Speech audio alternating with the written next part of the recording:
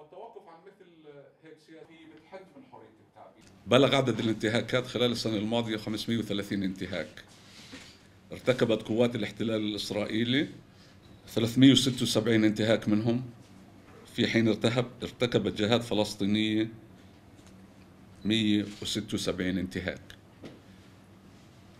واضح إنه في ارتفاع بعدد الانتهاكات خلال العام الماضي بلغت نسبته 38% في عام 2016 رصدنا 383 انتهاك طبعا زي ما قلت إنه السبب الرئيسي هو زيادة الانتهاكات الإسرائيلية التي تصاعدت حوالي 50% خلال العام الماضي وبالذات يعني خلال يعني الاحتجاجات أو الهبة الهبتين في القدس. طبعا يلاحظ أيضا إنه في ارتفاع بالانتهاكات الفلسطينية.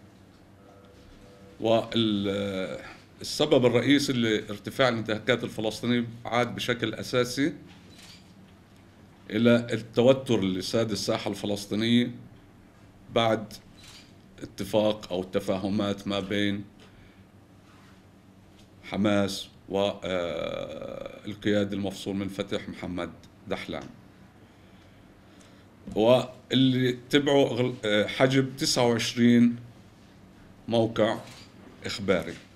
النسبة العامة للارتفاع بالانتهاكات يعني خلال مقارنة بالسنة الماضية وصلت إلى 38 انتهاك. إنه في عام 2008 عدد الانتهاكات الاحتلال 147 في 2009 97 في 2010 139 في 2011 100 في 2012 164 في 2013 151 في 2014 351 في 2015 407 في 2016 249 انتهاك.